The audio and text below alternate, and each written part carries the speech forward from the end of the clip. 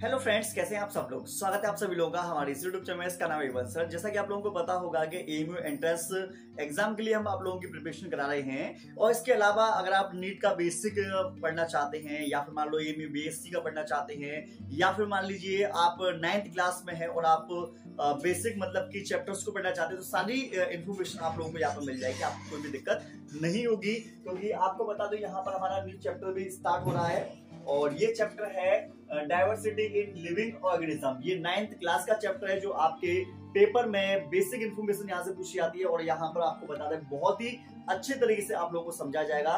तो आपको क्या काम करना है? ध्यान पूर्वक समझनी है, जो मैं आप लोगों को नोट समझाऊँगा। उसके बाद आप लोगों को मैं क्वेश्चंस बाद में मैं सॉल्व कराऊँगा, जिससे कि हर एक चीज़ आप लोगों के समझ में आ सके और आपको कोई भी दिक्कत महसूस ना हो। तो आपको बता दें टाइम वेस्ट करते हुए चलते हैं अपने क्वेश्चंस की तरफ़ और पहले नोट्स पढ़ाएँगे, फिर क्वेश्चंस आप लोगों को कराएँगे। तो लगातार आप लोग पढ़ते रहिएगा। मैं सेल चैप्टर और टिश्यू चैप्टर ऑलरेडी पढ़ा चुका हूँ। उन वीडियो को अगर आप लोगों ने नहीं देखा तो जाकर उन्हें आप देख सकते हैं, ठीक है? चलो। सबसे पहले हम बात करते हैं ये है इंट्रोडक्शन ठीक है?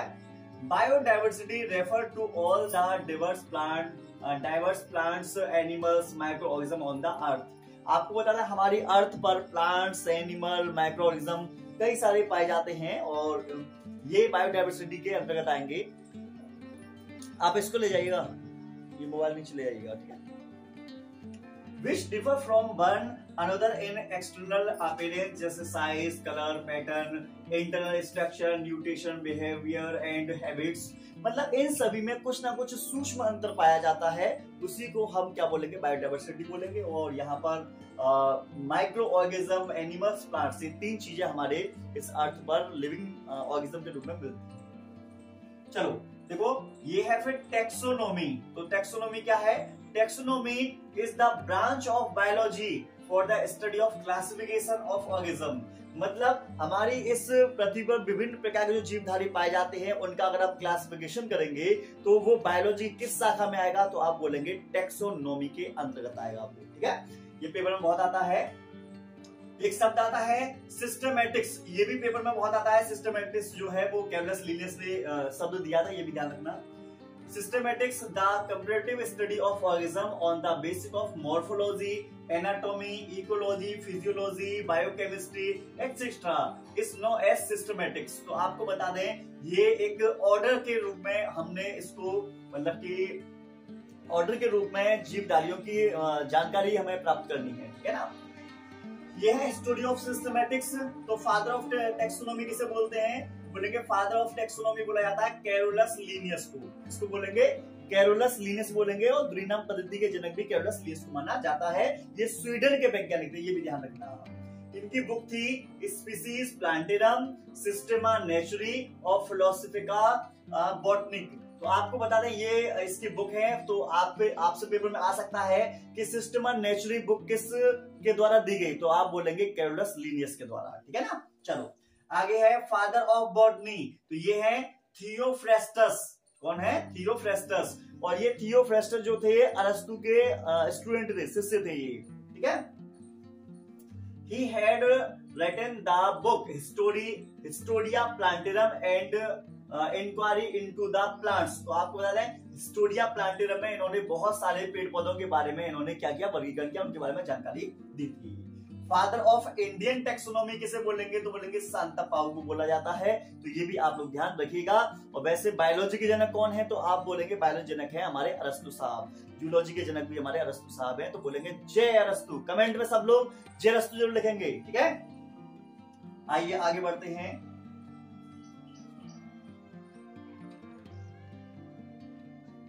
तो आगे देखिएगा। आपको यहाँ पर दिखाई दे रहा होगा, ये है सिस्टमेटिक्स है थ्री फ़ील्ड तो सिस्टमेटिक्स के तीन हमारे पास फ़ील्ड है। कभी कभी ये फ़ील्ड आपको क्रम में लगाने में भी आ जाता है। तो पहले क्लासिफिकेशन करेंगे, फिर नोमिनिकुलेशन करेंगे, फिर हमारे पास टेक्सोनॉमी है, ठीक है? तो क्लासिफिकेशन क्या है? क्लासिफिकेशन को आप लोगों को पता होगा, इसी को हम वर्गीकरण बोल देते हैं। तो जो भी जीवधारी, हम सभी जीवधारियों को स्टडी करेंगे तो वर्गीकरण करेंगे हम पहले इनका, ठीक है? तो क्लास यहाँ पर है ग्रुपिंग ऑफ़ ऑर्गेजम जैसे प्लांट हो या एनिमल हो in different rank of the basic of their character is known as classification तो सभी लोगों का हमारा डिफरेंट रैंक वगैरह होगी, सभी का अलग अलग करेक्टर वगैरह होगा तो हम उसको क्लासिफिकेशन कर देंगे, कौन प्लांट्स है, कौन एनिमल्स है हमें पता चल जाएगा, ठीक है? एडवांटेज ऑफ़ क्लासिफिकेशन अगर हम कोई क्लासिफिकेशन कर रहे हैं तो कोई ना कोई फ़ायदा ज़रूर होगा, क्योंकि जिस जिस चीज़ में हमारा फ़ायदा नहीं होता, उसका हमको तो हम करते नहीं है। तो देखेंगे classification makes the study of such a large number of living organism organism easy मतलब जितने भी पृथ्वी पर मतलब बहुत सारे जो जीव जंतु पेड़ पौधे हैं, हमें उनकी स्टडी करने में आसानी रहेगी, इसलिए हम क्लासिफिकेशन करते हैं। It helps us understanding the relationship among the organism तो आपको बताना है जितने भी जीवधारी हैं उन दो, उन सभी का आपस में क्या संबंध है, ये भी हम लोगों को पता चल जाएगा। It help helps to give an idea of evolution मतलब हमको ये भी पता चल जाएगा कि इवोल्यूशन हुआ कैसे है। पहले पृथ्वी पर जीवदारी कौन से थे फिर धीरे धीरे कैसे विकास हुआ है इन सभी चीज़ों का हम आ, क्या कर सकते हैं पता लगा सकते हैं क्लासिफिकेशन के द्वारा। चलो आगे बढ़ते हैं। हाँ यहाँ पर आप लोग देख पा रहे होंगे naming of organism binomial nomenclature दिखाई दे रहा होगा आप लोगों को ठीक है? इंपोर्टेंट है ये। The scientific name of all all kinds of organism are composed of two parts. मतलब जितने भी जंतु होते हैं ग्रीनम पद्धति के अनुसार जो लिनिस के द्वारा दिया गया था, सभी जीव जंतुओं के नाम दो पदों में दिए जाते हैं, जिसमें पहला होगा जीनस जीनस नेम होगा and the species particular organism होगा नेम मतलब स्पेसिफिक एपिथेट्स होगा। मतलब दो पदों में दिए जाएँगे, पहला होगा उसकी वंश, दूसरा होगा जाति। ठीक है? ये ध्यान रखिएगा। और Carolus Linnaeus started the practice of using binomial nomenclature तो बायोनोमियल नोमिनिक्लेचर दिया गया था, किसके द्वारा? कैरोलस लीनियस के द्वारा दिया गया था। Species is a group of individual having common characteristic and which can interbreeding to produce fertile offspring मतलब जो समान जातियाँ होती हैं, वो आपस में क्या कर सकती हैं? लैंगिक संबंध बना सकती हैं और जीवों को उत्पन्न कर सकती हैं, ठीक है? जाति शब्द था वो जॉन रे द्वारा दिया गया था। जाति वर्गीकरण की मूलभूत इकाई होती है, ये भी ध्यान रखना। और केवलस लिनियस में जैसे कि मैंने बोला राना टिग्रीना। तो राना जो है, वो वंश है, टिग्रीना जो है, वो जाति है, मेढक। की ऐसी है मेंजीफिरा इंडिका। मेंजीफिरा वंश है आम के पौधे का और इंडिका जो है जाति है आम के पौधे की। इसमें वंश का पहला अक्षर कैपिटल में होता है और जाति का पहला अक्षर स्मॉल लेटर में होता है। ये थोड़े तिरछे होते हैं और वैज्ञानिक नाम के ब्रैकेट में आ, नहीं जो साइंटिफिक नेम होता है उसके ब्रैकेट में उस वैज्ञानिक का नाम डाल देते हैं जिसने उसकी खोज की है जिसने उसका नाम दिया। ठीक है? ये भी ध्यान चलो। तो आपको बताना ये हो गई स्पीसीज स्पीसीज को जाति बोलते हैं ये है family a group of two more genera with common characteristic make a family आपको बता दें मतलब कई सारे क्या है? कई सारे हम्म, हाँ सही है। कई सारे मतलब कि स्पीसीज आपस में मिलकर क्या करेंगे? फैमिली का निर्माण कर देंगी। फॉर एग्ज़ाम्पल देख लो लॉयन लॉयन का वैज्ञानिक नाम होता है पेंथरा लियो क्या आप लोगों को पता था? ये ध्यान रखना। टाइगर को बोलते हैं Panthera tigris. And the domestic cat Felis domestic make it the family Felidae आपको बता दें, ये जो कैट कैट वगैरह है और ये पेंथरा वगैरह है, ठीक है? इन सभी की फैमिली कौन सी है? फेलिडी तो फेलिडी में ही टाइगर को रखा जाता है फेलिडी में शेर आएगा फेलिडी में ही बिल्ली आई ठीक है ना? ध्यान रखना। अगला है फैमिली के बाद है यहाँ पर ऑर्डर ठीक है? एक ग्रुप ऑफ़ रिलेटेड फैमिली मतलब कई सारी फैमिली आपस में मिलकर ऑर्डर का निर्माण करती हैं। जैसे the family of cat cat की फैमिली क्या है? Felidae and family of dog dog या फॉक्स इसकी है कैनिडी इस ग्रुप अंडर द कॉर्निवोरा तो आपको बता दें कॉर्निवोरा क्या है? हमारे पास ऑर्डर है। इस ऑर्डर के अंदर बिल्लियाँ और डॉग और भेड़ी मतलब की जो भेड़िया वगैरह जो होती है, वो सब इसी के अंदर आ जाएँगे, ठीक है? Class related order make a make a class मतलब रिलेटेड ऑर्डर आपस में मिलकर क्लास बनाएँगे। मतलब जाति आपस में मिलकर फैमिली बनाएगी फैमिली आपस में मिलकर ऑर्डर बनाएगी ऑर्डर आपस में मिलकर क्लास बनाएगी। क्लास को हम वर्ग बोलते हैं, ठीक है? Related order make a class for example several order like those of the tiger cat dog monkey bat humans belong to the class Mammalia मतलब ये सभी जंतु जो हैं, ये किसके अंतर्गत आएँगे? आपको पता होगा, ये स्तनधारी के अंतर्गत हैं ठीक है? फिर है phylum a phylum is the largest category with related class group of together मतलब क्लास आपस में मिलकर क्या बनाएँगी? फाइलम बना देंगी। The class of Mammalia bird reptile amphibia fish together constitute of phylum ये किसमें आएँगे? कॉर्डेटा में आएँगे। ये सभी जंतु जो हैं कॉर्डेटा में आएँगे क्योंकि ये जो है, इनके अंदर लिडियटी पाई जाती है। In plants the corresponding category is named division आपको बता दें, अगर हम बात करेंगे पौधे की तो पौधे में फाइलम ना बोलकर बोला जाता है डिवीज़न ठीक है? ये भी आप ध्यान रखना। ठीक है? आगे देख पा रहे होंगे, ये है kingdom kingdom is the largest group of organism different on very general similarities for example plant and animal kingdom तो दो जगत है, या तो जंतु जगत होगा, या फिर पादप जगत होगा तो ये आप लोगों को पता होगी, ठीक है? इतनी थ्योरी जो मैं आपको दिखा रहा हूँ, इतनी थ्योरी कोई नहीं दिखाएगा। और थ्योरी जब तक आप नहीं पढ़ेंगे, तब तक आपके कॉन्सेप्ट कैसे बनेंगे? जब तक कॉन्सेप्ट नहीं बनेंगे तो क्वेश्चंस कहाँ से करोगे आओगे? क्वेश्चंस डायरेक्ट आप करोगे ना? और बाई चांस तुम्हारा सही चला भी जाता है। तो यकीन मानिए, वो गलत भी उतने जल्दी हो जाएगा। क्यों? ये भी आपको बता देते हैं, जब तक हम थ्योरी पर काम नहीं करेंगे, तब तक हमारे क्वेश्चन अच्छे से नहीं बन सकते। तो इसलिए पहले थ्योरी पढ़ो, उसके बाद में क्वेश्चन करोगे, आपको एक एक चीज़ समझ में आ जाएँगी और क्वेश्चंस भी बड़े आसानी से हो जाएँगे। नहीं क्वेश्चंस में आपको कर तो लोगे, नहीं तो डाउट बहुत सारे आ जाएँगे आपको ठीक है? टेक्सन देखो group included in taxonomic categories known as taxa जैसे प्लांटी है स्पर्मेटोफाइटा है सोलेनम है, ये इसके अलग अलग टेक्सोन आगे बढ़ते हैं हम सबसे पहले आपको हम एक बात बताते हैं, शायद आप लोगों को पता होगा। एक वैज्ञानिक थे R H Whittaker R H Whittaker ने दिया था फाइव किंगडम क्लासिफिकेशन कि पृथ्वी पर जितने भी जीवधारी हैं, उनको पाँच भागों में विभाजित किया जा सकता है।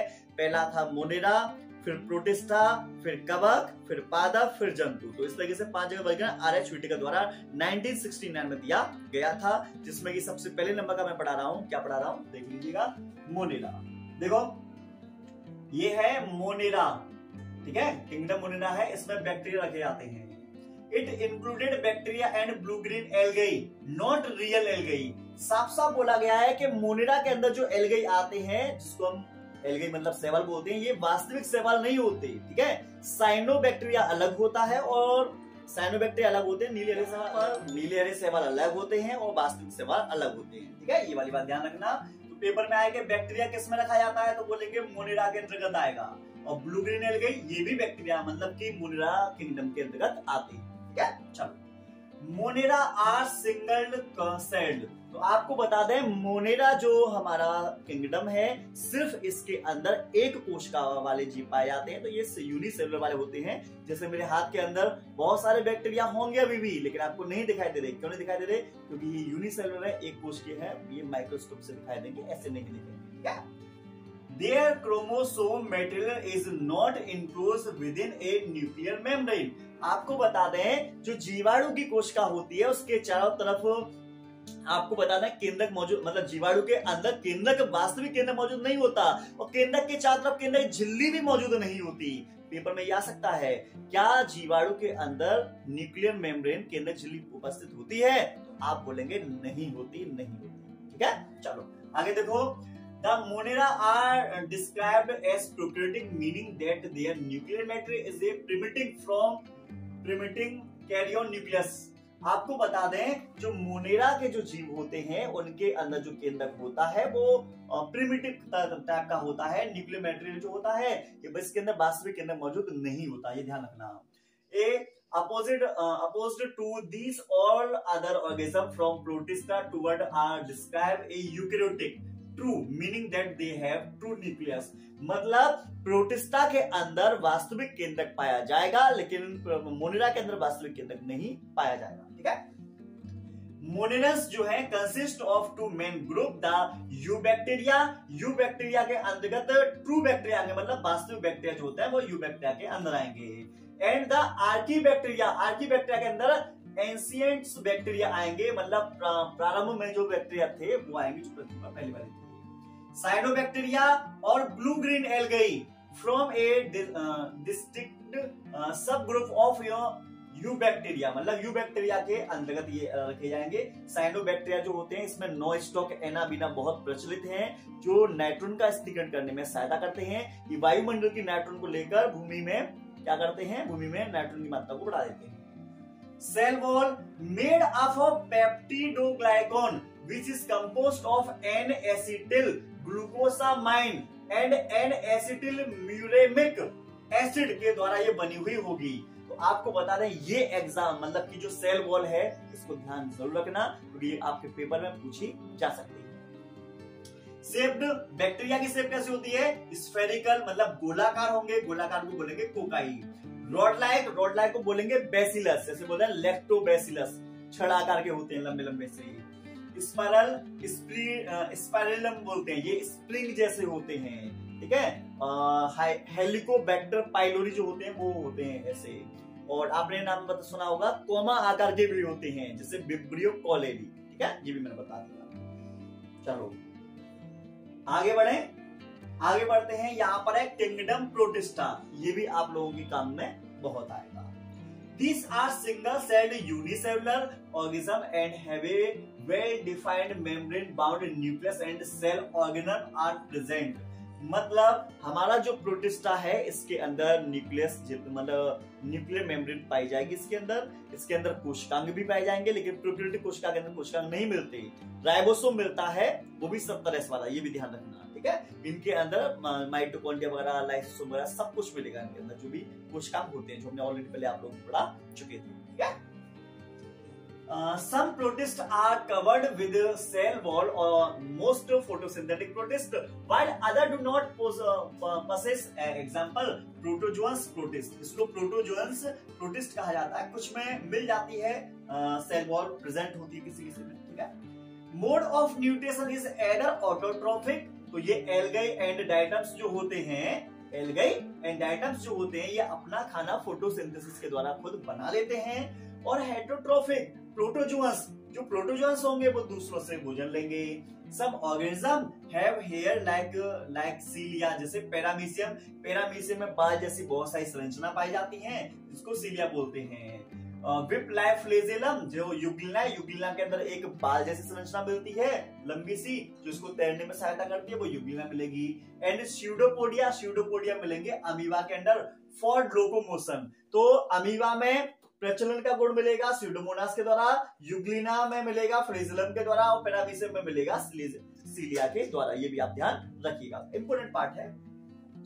Euglena and its relative perform photosynthesis in light आपको बता दें युग्लिना की ये विशेषता है कि दिन में लाइट में क्या काम कर सकता है? पता है आपको? ये खुद अपना खाना बना सकता है।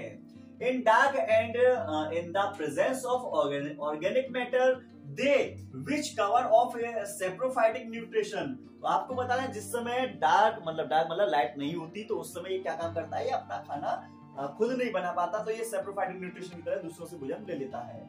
Such a dual nutrition is called mixotrophic nutrition paper में आएगा मिक्सोट्रोफिक न्यूट्रिशन किसमें देखने को मिलेगा? तो आप कहेंगे, ये युग्रिला में देखने को मिलेगा, ठीक है?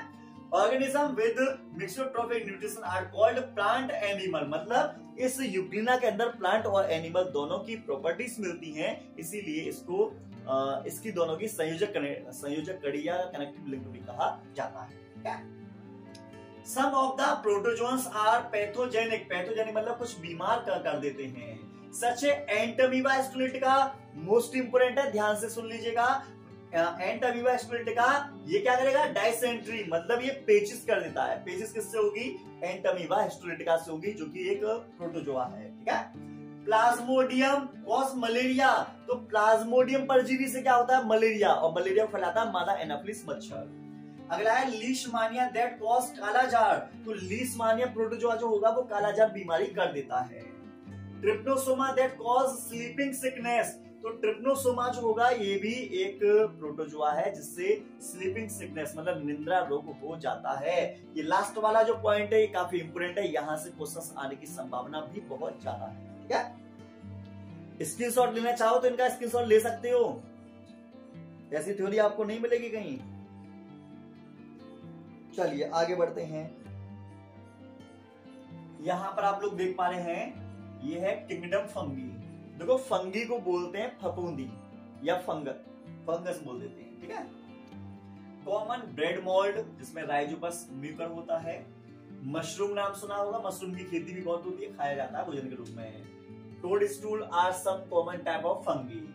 Most of these are mildly and severely poison मतलब कुछ ऐसे होते हैं जो थोड़े पॉइजन की तरह होते हैं। एमिनिटा एक आता है जो खाया नहीं जाता है खाते हैं तो बीमार पड़ जाते हैं most fungi are made of thread like structure called hyphae तो फंगी जो बने होते हैं थ्री लाइक स्ट्रक्चर से बने होते हैं आगे ऐसी संरचना होती है उसको हाइफे बोला जाता है, ठीक है? ब्लड मोल्ड के अंदर तुमने देखा होगा। Hyphae grow in the form of mat like structure called mycelium तो माइसी जो हाइफे है, ये जब ग्रो कर जाते हैं तो इसी से बन जाता है माइसिलियम ठीक है ना?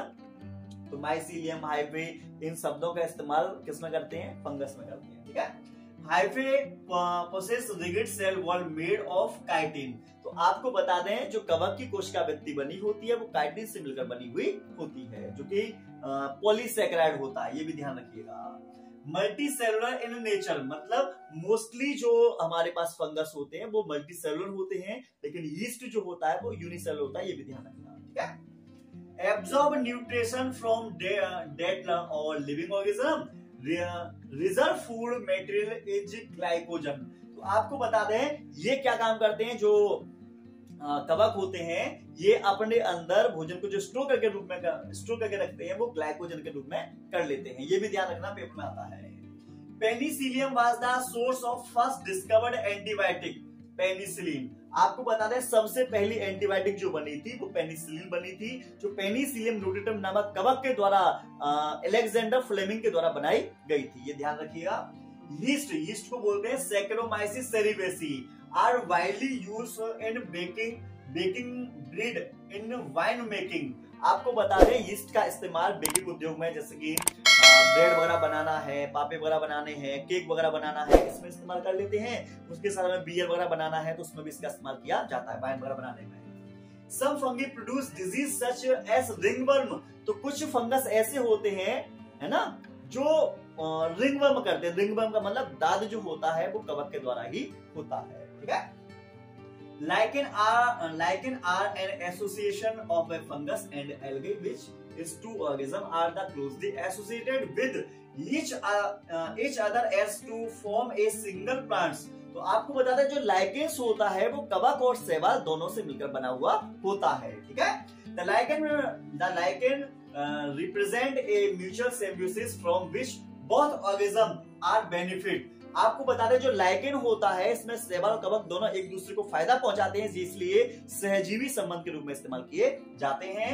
The most important role of lichen is an indicator of air pollution तो इंडिकेटर ऑफ़ एयर पॉल्यूशन जिस जगह पर एयर पॉल्यूशन ज़्यादा होगा, वहाँ पर ये लाइकेंस कम मिलेंगे, ठीक है? तो रोड के किनारे ये कम मिलेंगे और रोड से अंदर की साइड में ये ज़्यादा मिलेंगे। तो आपको बता दें, जहाँ एयर पोल्यूशन कम होगा, वहाँ ये ज़्यादा मिलेंगे, जहाँ एयर पोल्यूशन ज़्यादा होगा, वहाँ पर ये कम मिलेंगे, ठीक है? चलो।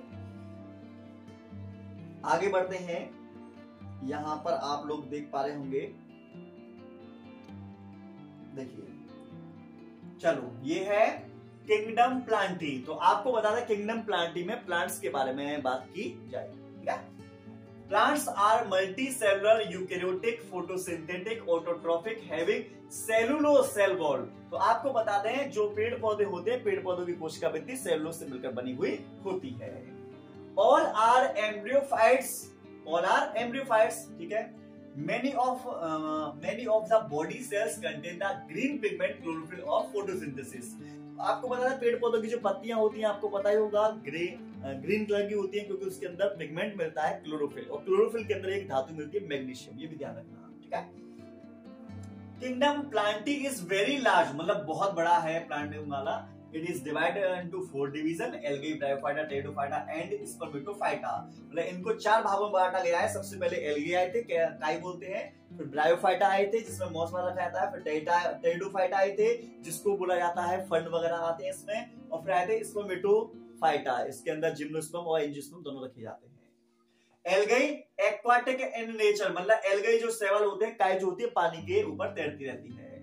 Bryophyta amphibians of plant kingdom non vascular तो एम्फीबियंस ऑफ़ प्लांट किंगडम किसे बोलेंगे? ब्रायोफाइटा क्योंकि ये पानी के के ऊपर और पानी के बाहर, पानी के किनारे नम भूमि पर ये मिल जाते हैं।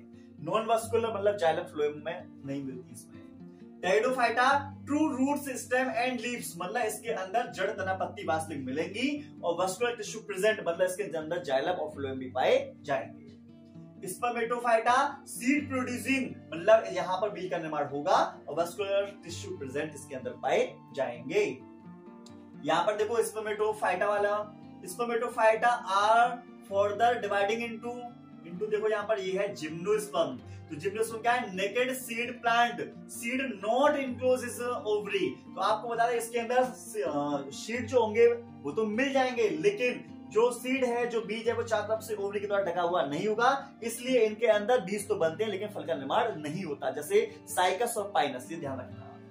Angiosperm seed enclose in ovary word are divided into आपको बता रहे एंजियोस्पर्म जो होता है, उसमें बीज भी होते हैं, और बीज के बीज जो होता है, चारों तरफ़ से फल के द्वारा घिरा हुआ भी होता है। ये दो भाग में डिवाइड होते हैं, जिसे डाइकोटलीडोन आपको इसको बोलते हैं, दो बीज पत्री पौधे। एम्ब्रियो विद टू कोटिलोडन मतलब इसमें दो बीज पत्र पाए जाते हैं। ये है मोनोकोटिलोडन इसमें एक मिलेगा एक मिलेगा, क्या एक मिलेगा? एक बीज पत्र मिलेगा, ठीक है? तो इस तरीके से मैंने आप लोगों को ये पढ़ा दिया है।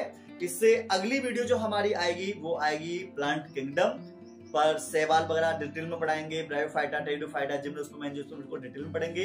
उसके बाद में हम एनिमल किंगडम पढ़ेंगे, क्योंकि एक ही वीडियो हमने पढ़ा दिया तो ये बहुत बड़ी वीडियो हो जाएगी। तो मैं नहीं चाहता कि आपके दिमाग में मतलब कि सारी चीज़ें मिक्स हो जाएँ। आज आप लोगों ने क्लासिफिकेशन वगैरह टेक्सोनॉमी वगैरह फाइव किंगडम वगैरह, ये सारी चीज़ें देखी हैं। ये काफ़ी इंपोर्टेंट थी। इससे आगे वाला जो पार्ट है, उसमें सिर्फ़ प्लांट प्लांट के बारे में ही आप लोगों को समझाया जाएगा। फिर अगला वाला जो होगा, उसमें एनिमल एनिमल के बारे में समझाएगा जिससे कि हर एक वीडियो से आपके जो कॉन्सेप्ट है, वो अच्छी तरीके से क्लियर हो जाए। चलो, आज के लिए इतना ही। आप लोगों ने अगर सेल और टिश्यू वाला चैप्टर नहीं देखा तो आपको बता दें डिस्क्रिप्शन में लिंक दे दूँगा मैं। वहाँ पर जाकर आप लोग देख सकते हैं। मिलते हैं नेक्स्ट वीडियो